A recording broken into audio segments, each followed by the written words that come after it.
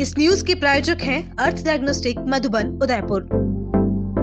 शहर के नामचीन स्कूल सेंट मेरीज स्कूल की छात्रा के साथ छेड़खानी का मामला सामने आया है।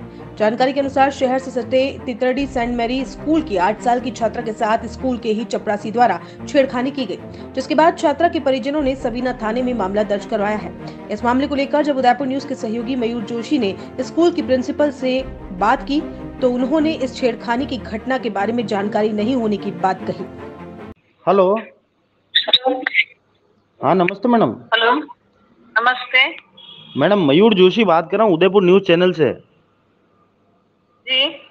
मैडम ये किस तरह का मामला दर्ज हुआ है सवीना थाने में आज?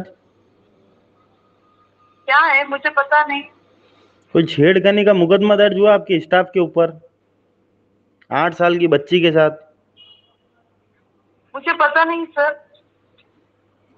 मैडम आपके स्कूल में इतनी बड़ी घटना हो जाती है आपको पता नहीं अभी तक? जब तक हमें पता ही नहीं तो हमें कैसे पता सर? हर कोई जाके न्यूज़ दे सकता ना। कि- कहाँ से मुझे थोड़ा बता दीजिएगा बच्ची के माता पिता ने रिपोर्ट दर्ज कराई है पुलिस वालों ने नाम गोपनीय रखा है। लेकिन पेरेंट्स मेरे पास आए नहीं है सर। आठ साल के बच्चे के साथ। जी मैडम। आप कौन बोल रहे हैं? मैं मयूर जोशी बात कर रहा हूँ उदयपुर न्यूज़ चैनल से। क्लास कुछ भी नहीं बताया।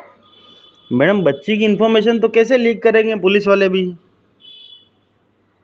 सर पेरेंट्स मेरे पास आए ही नहीं है सर